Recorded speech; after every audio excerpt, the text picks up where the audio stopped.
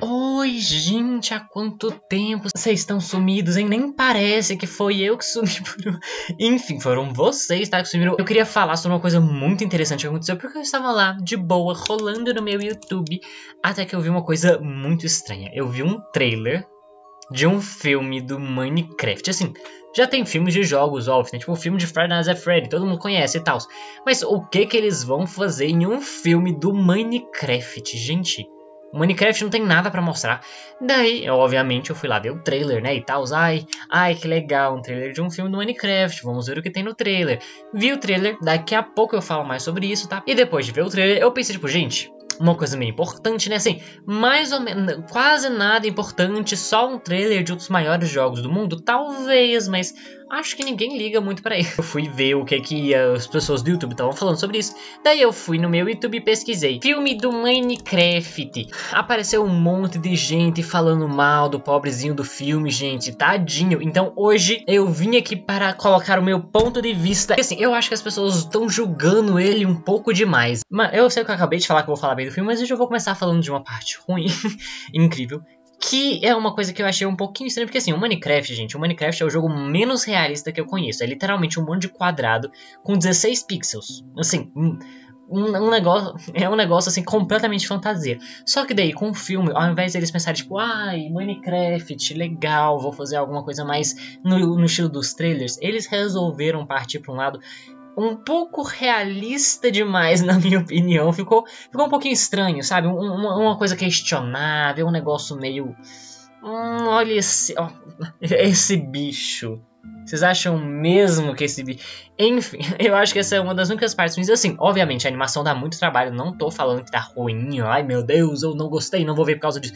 Mas eu achei a animação um pouco desconexa com o sentido do Minecraft. E agora vamos partir para a parte boa, depois a gente escolachar o filme. Vamos falar o que, que ele tem de bom. E eu acho uma das ideias mais legais desse filme é uma das coisas que eu mais criticaria, que é pegar uma pessoa real e colocar dentro do Minecraft. Porque assim, uma coisa muito comum é a gente pegar um personagem de desenho animado e colocar na vida real.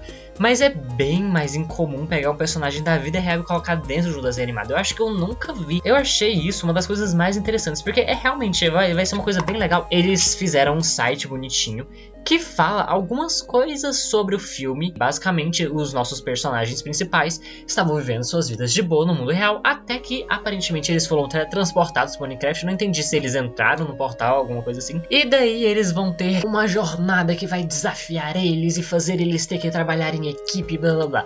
Assim, obviamente é parece ser uma história muito clichê.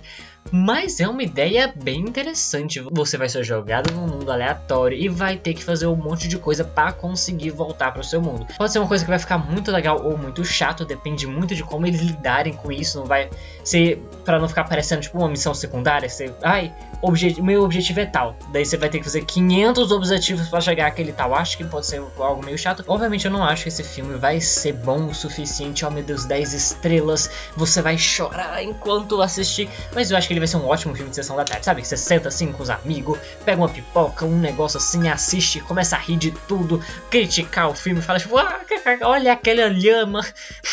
eu acho que vai ser um filme interessante, alguma coisinha realmente assim, mais descontraída. Eu não acho que vale a Talvez não vale a pena ir no cinema para ver, vale mais a pena ficar em casa. Se for muito mais de ação, pode ficar um pouquinho estranho, já que são personagens reais, né? São pessoas reais pessoa real no mundo pode ficar um pouquinho estranho em uma cena muito de ação. Mas se for mais, assim, comédia, uma coisinha mais descontraída, cara, vai ficar incrível, tá? 100%. E ano que vem, quando esse filme lançar, eu com certeza vou fazer um vídeo gigantesco, talvez não tão gigantesco assim, que eu quero falar sobre o filme inteiro, estilo Seijinho, sabe? Aquele moço.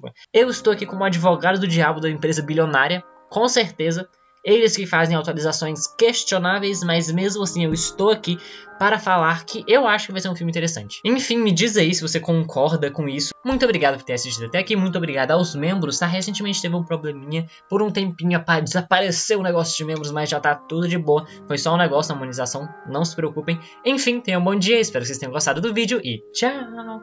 Deixa eu